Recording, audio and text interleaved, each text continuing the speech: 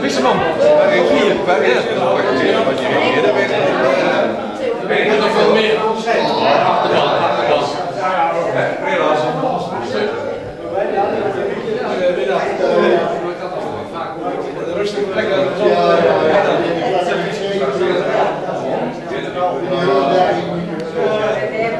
Namens Stichting Promotie namens TIP, namens de Middenstandsvereniging, namens Ondernemerskring Genewijde en namens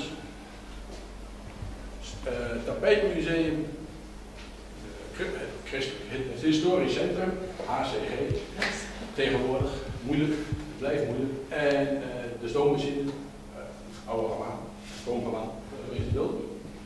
Eerste burger van de Zwarte Waterland en daarbij als inwoner van Henemuiden ook eerste burger van ons eigen hier. Uh, wat gaan we vanmiddag doen? Wij hebben een uh, culinair, culinair een beetje te veel gezegd, maar in ieder geval een smakelijke uh, familielid gemaakt van het bekende Genemuiden tapijt. Genemuiden is wereldwijd bekend om de tapijt en wij vonden dat er iets extra's bij moest. Dat komt omdat ik drie maanden geleden uitgenodigd ben door de zojuist genoemde groep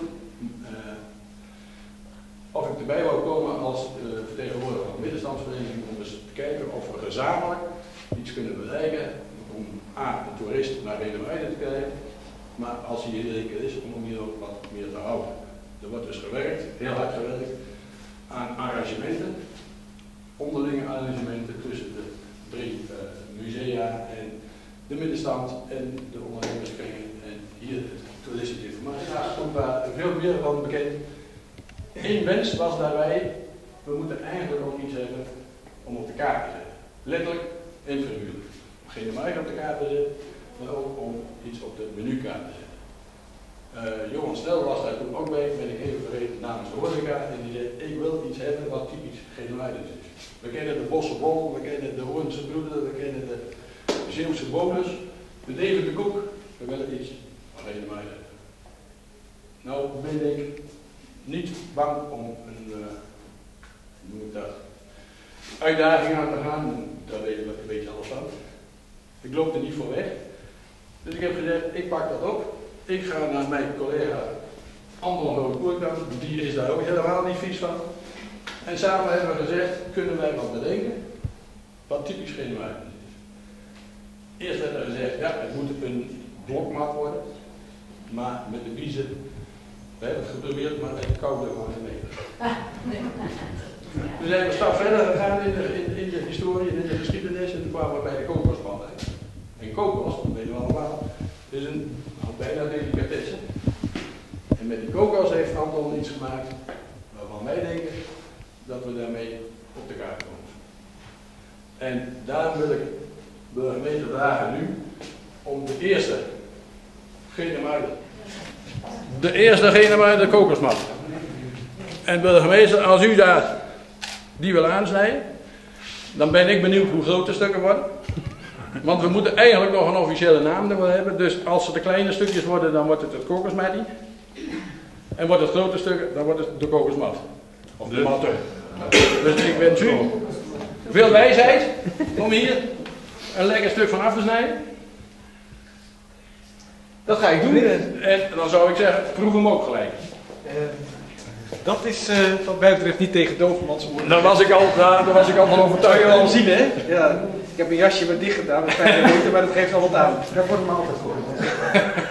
Ja, maar gaat er nou nog wel een keer hoor. Uh, oh. nee. Nou wordt de gedachte geopperd dat ik zo'n hele week voor mijzelf doe, maar ik dacht je moet ergens beginnen. Ja. En dan zou je over zo, volgens mij, een fatsoenlijke maat in hebben, of niet? Ja. Dames en heren, het wordt, het wordt de kokosmatten, want dit wordt een uh, stevig stuk. Ja, ik reken me zo een beetje bij mijzelf af. Nee, helemaal, helemaal prima. Nou, de eerste zijn aangesneden. Prima. Mooi. Ik me zo uh, Had jij iets? Uh, ja. vuist weg. Uh. Maar misschien dat ik dan, voordat ik mijn uh, tanden daarin zet, in elk geval nog wel een paar woorden mag spreken. Dat gaat beter in een lege dan met een volle mond. Alsjeblieft. Ik uh, vind dat jullie uh, een heel goed initiatief hebben ontplooid.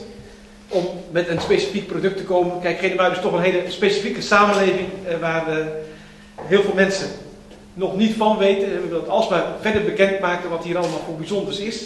En het is in elk geval heel duidelijk dat de meeste karakteristieken van Genemuiden, dat is toch wel de tapijtindustrie, de historie daarvan ook. Dat jullie die uh, link hebben gelegd, dat is wat mij betreft uh, zeer voor de. Persoonlijk ben ik een liefhebber van kokos, dus wat de smaak betreft komt dat ongetwijfeld goed. En uh, ik wens jullie ook van harte toe dat we vandaag kennis hebben gemaakt met een product waar we met elkaar tot in lengte van jaren ook zelf van mogen genieten. Want dat is natuurlijk wat hier in Gedemuiden ook vooral moeten doen. We er ook zelf van genieten van al het goede dat er is. En dat we ook de gelegenheid ons te nutten zullen maken om vele anderen met ons van al het goede in Gedemuiden te laten genieten. En daar hoort deze kokosmat absoluut bij. Dank je wel. Ja, pak even de pakken wat even aan het school. We zijn er nog niet. Uh, er is namelijk nog een tweede variant. En die ligt nu ook nog uh, onder een afdekseltje. En dat zijn tapijtenrolletjes. En aan u de eer om, om dat te onthullen. Kijk.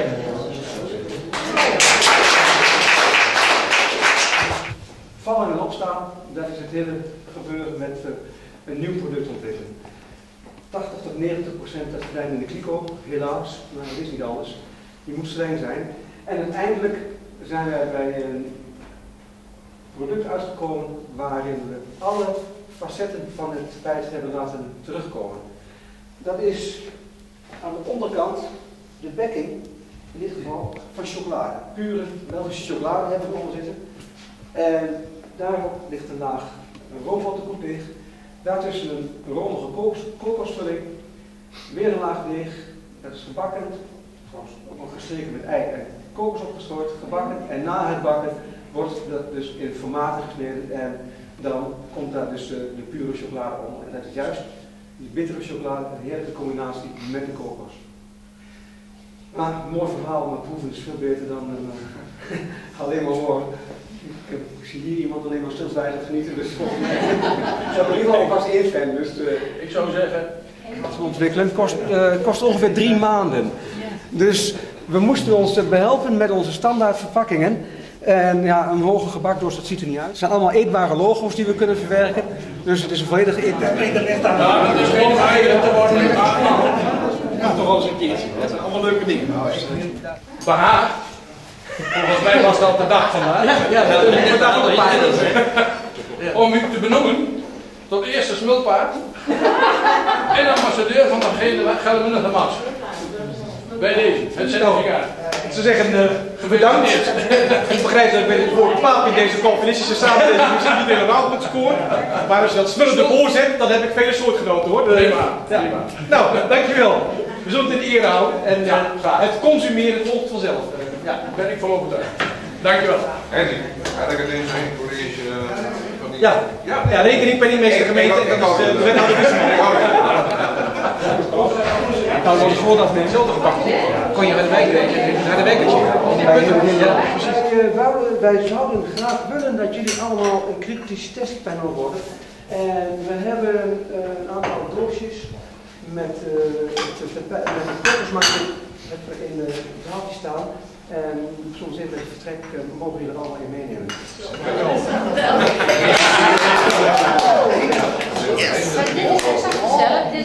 Ja, het is hetzelfde